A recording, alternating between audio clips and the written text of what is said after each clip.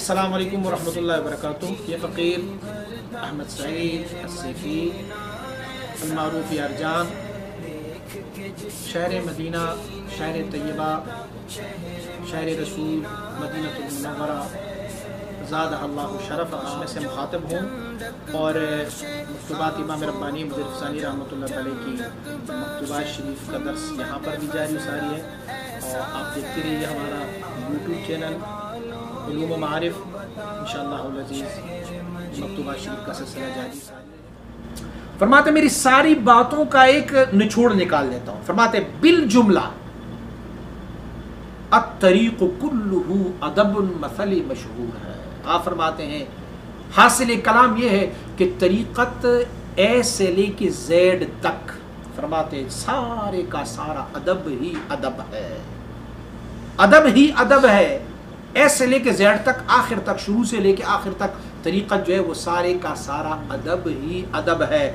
ادب پہلا کرینہ ہے عشق کے کرینوں میں۔ اگر محبت ہے تو یہ پہلا قدم ہے، پہلی سیڑھی ہے ادب۔ اگر یہ نہیں ہے تو پھر کچھ بھی نہیں ہے۔ فرماتے یہ مشہور مسل ہے اور فرماتے میں کیا کہتا ہوں؟ فرماتے ہیچ بے ادب بخدا نہ رسد۔ ہے، کوئی بے ادب رب تک واصل ہو ہی نہیں سکتا۔ جو بے ادب ہوتا ہے، وہ رب تک واصل ہو ہی نہیں سکتا۔ لیکن کیا کریں؟ مرید ہے، انسان ہے، سالک ہے، وہ مقصر ہے، کمزور ہے۔ ہو سکتا ہے یہ آداب بجا نہ لائے تو پھر کیا کریں؟ ان کے لیے بھی حل بیان فرما فرماتے اگر مرید بعض آداب کو بجا نہ لا سکے مثلا بعض آداب میں سے ایک ادب تو یہ بھی ہے نا کہ ان کے سامنے نہ کھائیں نہ پئیں، لیکن اب مجبوری ہے، کھانا پینا بھی پڑ جائے۔ تو کیا کریں؟ دیکھا میرا شیخ جو ہے وہ کڑا ہے اور میرا شیخ جو ہے وہ نوافل ادا کر رہے ہیں۔ تو کہا میرا شیخ نفل پڑھ رہا ہے تو میں بھی پڑھ لوں؟ جبکہ شیخ کے حضور میں نفل پڑھنا ممنوع ہے، تو اگر کوئی اس طرح کی لغزش ان کو ہوئی اور وہ کوشش کے باوجود بھی یہ ادب بجا نہ لا سکا، تو پھر وہ افواہ ہے، معفو ہے۔ لیکن افو کے ساتھ ایک کام ہے، اما از اعتراف بتقسیم ناچار است انہیں یہ چاہیے کہ کہ حضور میں بے ادب ہوں، مجھ سے بے ادبی ہو جاتی ہے۔ میں مانتا ہوں کہ میں بے ادب ہوں حضور۔ آپ افواہ کرنے والے ہیں، آپ ہمیں بخش دیں آپ افواہ کر لیں۔ اسی لیے یہ آداب ضروری ہے۔ اور اگر اعظم باللہ، اللہ کی پناہ، وہ ادب کو بھی بجا نہ لائے۔ اور اپنے آپ کو مقصر بھی نہ کہے گا، میں ٹھیک ہے کر رہا ہوں۔ اس ٹائم تو یہ ضروری تھا کہ میں ان کے سامنے یہ بولتا۔ میں ٹھیک کر رہا ہوں، اپنے آپ کو مقصر بھی نہ جائے۔ تو فرماتے از برکات ان بزرگواران محروم است. وہ بندہ ان بزرگوں کی برکات سے پھر محروم رہتا ہے۔ انہیں کوئی فائدہ نہیں پہنچتا۔ میں پہلے عرض کر چکا ہوں کہ میرے بھائی صاحب یہی فرما رہے ہیں کہ اگر ادب نہ ہو تو صحبت کے لیے کوئی اثر ہی نہیں ہے۔ نہ اس صحبت کی کوئی فوائد ان کو مل رہے ہیں۔ ہر کرا روئی بہبود نبود دیدن روئی نبی سود نبود فرماتے ہیں، جن کو اللہ ہدایت کے رستے پر نہ چلائے، تو نبی کی شکل اور صورت کو دیکھ کے بھی انہیں کوئی فائدہ نہیں ہوتا۔ ابو جیل و ابو لہب نے نبی کو نہیں دیکھا تھا، صلی اللہ علیہ وسلم کو دیکھا تھا۔ کفار نے نہیں دیکھا تھا، بلکہ کفار نے بھی سارے کو دیکھا تھا۔ لیکن اس کے باوجود ان کو فائدہ کیوں نہیں ہوا؟ اس لیے کہ وہ حضور کے بارگاہ میں ادب کو برائی نہیں کرتے ہوتے تھے۔ پھر کیا ہوتا ہے؟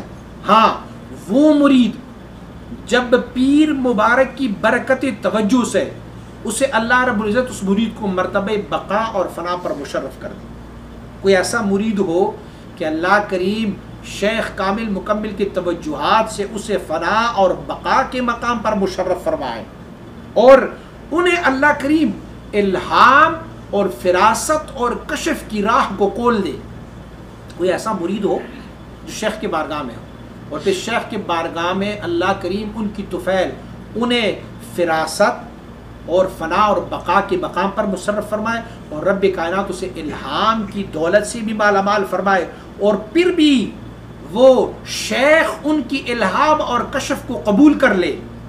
جب وہ اپنی شیخ کے بارگاہ میں کوئی الہام یا کشف اپنے بیان کر لے، تو شیخ کہیں کہ جی ٹھیک ہے، یہ صحیح بات ہے، آپ نے یہ کشف دیکھا ہے، آپ کو یہ الہام ہوا ہے، اسے میں قبول کر لیتا ہوں۔ اب وہ مرید اگر کچھ الہامی کاموں میں اپنی شیخ کے ساتھ اختلاف رکھے، تو اس اختلاف کو گنجائش ہے۔ ہو سکتا ہے، کیونکہ انہیں بھی الہام ہو رہا ہے۔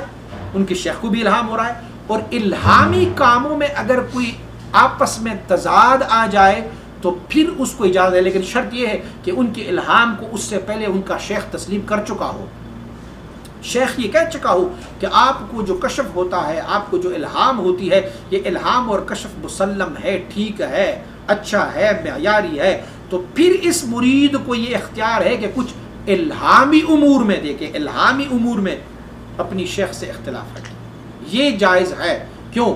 آپ دیکھیں کہ مشائقی گزشتہ، ان کے قانون یہ ہے، حضرت امام ابو حنیفہ رحمۃ اللہ تعالیٰ امام ابو یوسف رحمۃ اللہ تعالیٰ کے ساتھ کچھ اختلافات رکھتے ہوتے تھے۔ اب وہ اختلافات بھی کیسے اختلافات ہوئی؟ دیکھو، یہ امام ابو یوسف شاگرد ہے، امام محمد شاگرد ہے، امام ظفر شاگرد ہے۔ لیکن اس کے باوجود بھی وہ کئی مسائل میں امام ابو حنیفہ رحمۃ اللہ تعالیٰ سے اختلاف رکھتے ہیں۔ اور بسا اوقات ہماری فقہ کے مسائل میں یہ ہے کہ ہم بہت سارے مسائل میں امام یوسف کو فالو کرتے ہیں۔ کئی مسائل میں ہم صاحبین کو کہیں کسی میں ہم یاران کو فالو کرتے ہیں۔ تو اب حضرت امام یوسف کو اپنی استاد، اپنی پیر و مرشد امام ابو حنیفہ، امام ابو حنیفہ رحمۃ اللہ تعالی سے اختلاف ہے۔ لیکن ہم اسے برا نہیں سمجھتے کیونکہ یہ اختلاف جو ہے تب ہے جب امام ابو یوسف مرتبہ اجتہاد تک پہنچا ہے اور جب تک امام یوسف مرتبہ اجتہاد تک نہیں پہنچا، اس وقت تک اس نے ایک مسئلے میں بھی اختلاف نہیں کیا۔ انہوں نے تسلیم کی۔ لیکن جب آپ مرتبہ اجتہاد تک پہنچے تو ایک مجتہد حضرت امام ابو حنیفہ ہے اور دوسرا مجتہد حضرت امام ابو یوسف ہے۔ دونوں امام ابو یوسف شاگرد ہے۔ امام ابو حنیفہ استاد ہے، پیر ہے، مرشد ہے، سارا کچھ ہے ان کا۔ لیکن اس کے باوجود بھی امام یوسف، امام محمد، امام ظفر رحمہ اللہ تعالی علیہ مجمعین یہ مبارکین امام ابو حنیفہ رحمۃ اللہ سے اختلاف رکھتے ہیں۔ لیکن شرط یہ ہے کہ تب اختلاف رکھتے ہیں جب یہ مرتبہ اجتہاد پر ہوتے ہیں۔ جب تک یہ مرتبہ اجتہاد تک نہیں گئے، تو اس وقت تک انہوں نے اختلاف نہیں کیا۔ امام ظفر رحمۃ اللہ تعالی کے قول کو ضعیف ٹھہرایا جاتا ہے۔ آپ فقہ کے مسائل کو دیکھیں نا، تو فقہ کے مسائل میں امام ابو ابو حنیفہ رحمۃ اللہ تعالی اس کے بعد امام ابو یوسف رحمۃ اللہ تعالی اس کے بعد امام محمد رحمۃ اللہ تعالی اور امام ظفر کو نہ بعد میں ترجیح دی جاتی ہے۔ بہت سارے مسائل میں۔ وجہ کیا ہے؟ مشاق فرماتے اس میں بھی ادب کی ایک ہسٹری اور تاریخ چھپی ہوئی ہے۔ ایک دن امام ظفر رحمۃ اللہ تعالی بیٹھے ہوئے وضو کر رہے تھے۔ ایک ندی کے کنارے بیٹھ کے وضو کر رہے تھے کہ ان کا استاد امام ابو حنیفہ رحمۃ اللہ تعالی کا وہاں سے گزر ہوا۔ تو جب وہاں سے گزر ہوا تو امام ظفر رحمۃ اللہ تعالی نے سوچا کہ میں تو وضو کر رہا ہوں، اللہ کی طاعت پہ لگا ہوا ہوں، اس لیے مجھے ان کی احترام میں کھڑے ہونے کی کوئی ضرورت نہیں ہے، میں تو اللہ کی عبادت میں لگا ہوا ہوں اسی لیے مجھے وہاں کڑے کڑے ہونے کی کوئی ضرورت نہیں ہے۔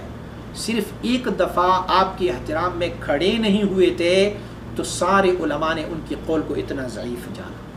ایک بے ادبی کی وجہ پہ امام ابو حنیفہ رحمۃ اللہ تعالی ایک دفعہ درس ارشاد فرمایا کرتے ہوتے تھے۔ اور آپ کے ایک استاد تھے، حضرت حماد رحمۃ اللہ تعالی تو امام ابو حنیفہ رحمۃ اللہ تعالی جب درس ارشاد فرمایا کرتے تھے، سینکڑوں شاگرد آپ کے سامنے بیٹھے ہوتے تھے۔ تو درس کے دوران اچانک امام صاحب کھڑے ہوتے۔ پھر تھوڑی دیر بعد بیٹھ جاتے۔ تھوڑی دیر بعد پھر کھڑے ہو جاتے، پھر بیٹھ جاتے۔ جب آپ کھڑے ہو جاتے تو سارا مجمع کھڑا ہو جاتا جب آپ بیٹھ جاتے تو سارے کا سارا مجمع بیٹھ جاتا آخر میں ایک شاگرد نے پوچھا، حضور، کیا وجہ ہے؟ آپ بار بار اٹھ رہے ہیں؟ فرمائے وہ چھوٹا بچہ نو سال کا ایک بچہ ہے، وہ میری استاد کا بیٹا ہے۔ استاد نہیں ہے، استاد کا بیٹا ہے۔ وہ گیند سے کھیل رہا ہے، بال ہے ان کے پاس۔ تو ان کی بال جب ہماری طرف آتا ہے، ہمارے مجمع میں آتا ہے، تو وہ دوڑ کے بال کو پکڑنے کے لیے یہاں آتا ہے۔ جب وہ آتے ہیں تو میں ان کے احترام کے لیے کھڑا ہو جاتا ہوں۔ میرے استاد کا بیٹا ہے۔ تو تبھی رب کائنات نے امام حنیفہ کو مقام اور مرتبہ بھی یہ دیا ہے۔ استاد نہیں ہے۔ استاد کا بیٹا ہے تو استاد کے بیٹے کے ساتھ یہ ادب ہے۔ تو پھر استاد اور شیخ کے بارگاہ میں کیا؟ تو میں عرض کر رہا تھا کہ اگر مرید ایسا مرید ہو کہ جن پر فراست اور کشف کا رستہ کھل جائے، جس پر فراست اور کشف کا رستہ کھل جائے، تو فراست اور کشف کی رستہ کھلنے کے بعد ان کے لیے یہ اجازت ہے کہ وہ اپنی پیر سے اختلاف رکھے، لیکن پیر سے اختلاف صرف الہامی امور میں رکھیں گے۔ الہامی امور میں، کشوف میں رکھیں گے۔ صاحب نے، شیخ نے کشف دی کی کوئی اور طرح کی، اور مرید نے دی کی کوئی اور طرح کی۔ تو یہ لائق ہے کہ وہ کہے کہ حضور میری کشف میں تو یہ آیا تھا، اور آپ کی کشف میں یہ آیا تھا۔ میرے دل میں اس بات کی القاع ایسی ہوئی ہے، اور آپ کے دل میں القاع ایسی ہوئی۔ یہ بھی صرف ان امور میں جو الہامی امور ہوتے ہیں۔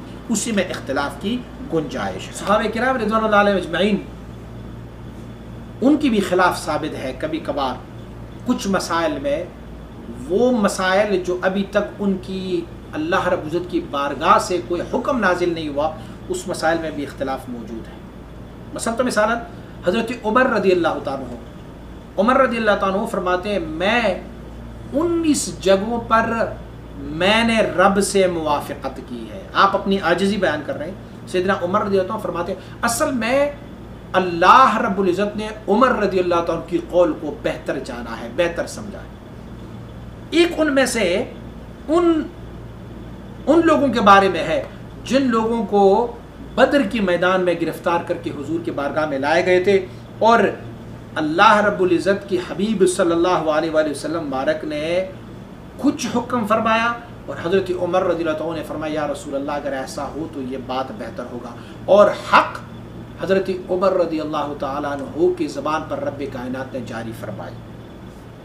ایک اور بھی حکم ہے کہ جب عبداللہ ابن عبی ابن سلول منافق وہ مر گیا، تو حضور سید عالم صلی اللہ علیہ وسلم نے فرمایا کہ جیسا بھی ہے، نام تو مسلمان کا لگا ہوا ہے، اسی لیے میں ان کی جنازہ پڑھاؤں گا۔ سیدنا عمر رضی اللہ تعالیٰ ہو آپ نے حضور سید عالم صلی اللہ علیہ وسلم سے عرض کی، یا رسول اللہ صلی اللہ علیہ وسلم، یہ بڑا منافق تھا، ان کا جنازہ مت پڑھائیں آپ۔ کیونکہ اگر اللہ کے حبیب جس کے بارے میں کہیں کہ اللہ مغفر ہو، یا اللہ ان کی مغفرت فرما، تو وہ تو مغفرت ہے ہی۔ تو اگر آپ ان کے جنازہ پڑھائیں گے، تو رب ان کو معاف فرمائے گا، لیکن یہ ہے تو منافق۔ حضور سید عالم صلی اللہ علیہ وسلم بارک نے فرمایا، نہیں، میں ان کا جنازہ پڑھاؤں گا۔ اور جب آپ تشریف لے گئے ان کے جنازے پر اور جنازے کے لیے آپ آگے ہو رہے تھے تو عمر رضی اللہ عنہ نے پیچھے چادر سے پکڑ لیا۔ یا رسول اللہ، ان کا جنازہ مت پڑھیے۔ آپ نے اگر ان کا جنازہ پڑھ لیا تو رب کائنات سے معاف فرما دے گا۔ اسی لیے یا رسول اللہ، آپ نہ پڑھیے۔ اللہ کے حبیب صلی اللہ علیہ وسلم نے فرمایا، مجھے رب کی طرف سے کوئی حکم نہیں۔ اب دیکھیں، عمر رضی اللہ عنہ اختلاف کر رہے ہیں۔ حضور مصطفیٰ کریم صلی اللہ علیہ وسلم سے۔ لیکن یہ اختلاف الہامی امور میں ہے۔ ابھی حکم تو نہیں آیا۔ لیکن جو احکام آئے تو اس میں خلاف تو نہیں کر سکتے۔ تو اللہ کریم کی طرف سے حکم آیا کہ ولا تسلی علی احد منهم مات ابدا ان میں سے منافقین میں سے جو بھی مر جائے نا، اس کی کسی کی نماز جنازہ آپ نے نہیں پڑھا۔ ولا تقم علی قبری ہی ان کی قبر پر بھی کڑے نہ ہوں۔ کہ اگر آپ کڑے ہوں گے تو رب کی رحمتیں جوش میں آ جائیں گی، پھر تو رب انہیں معاف فرما دے۔ تو آپ نے تو یہ حق حضرت عمر رضی اللہ تعالیٰ کے بجانب آئے۔ تو مانا یہ کہ امام ربانی مجرف ثانی رحمۃ اللہ تعالیٰ میں سمجھا رہے ہیں کہ اگر کوئی شیخ کا مرید ایسے ہو کہ اس سے رب کائنات یہ فراست کا رستہ کھول دے، اللہ کریم اسے الہام اور کشوف کا رستہ کھول دے، تو پھر وہ الہامی امور میں اپنی شیخ سے اختلاف کر سکتے ہیں۔ امام یوسف رحمۃ اللہ تعالیٰ کا قول میں نے پہلے ذکر کیا۔ آپ کا ایک مشہور قول ہے، آپ فرماتے کہ نازعت ابا حنیفہ فی مسئلہ خلق القرآن، قرآن ستت اشہر آپ فرماتے میں نے امام ابو حنیفہ رحمۃ اللہ تعالی سے چھ ماہ مناظرہ کیا ہے کہ قرآن مخلوق ہے یا غیر مخلوق ہے، اس پر۔ اور فرماتے آخر میں حق بجانب رہا۔ حضرت امام ابو حنیفہ رحمۃ اللہ تعالی کا، ہم دونوں اس بات پر متفق کہ قرآن غیر مخلوق ہے، یہ اللہ کا کلام ہے اور اللہ کے کلام ازلی جو ہے وہ غیر مخلوق ہوتا ہے۔ مخلوق تو حادث ہے نو پیدا ہے اور اللہ کا کلام نو پیدا نہیں ہے، اللہ کا کلام ازلی ہے، ابدی ہے۔ تو دیکھو، امام یوسف رحمۃ اللہ تعالی اس کے بعد جب وہ مرتبہ اجتہاد تک پہنچے ہیں، تو اس کے بعد حتی امام ابو حنیفہ رحمۃ اللہ تعالی سے انہوں نے اختلاف رکھا ہوا ہے۔ لیکن اموری الہامیہ میں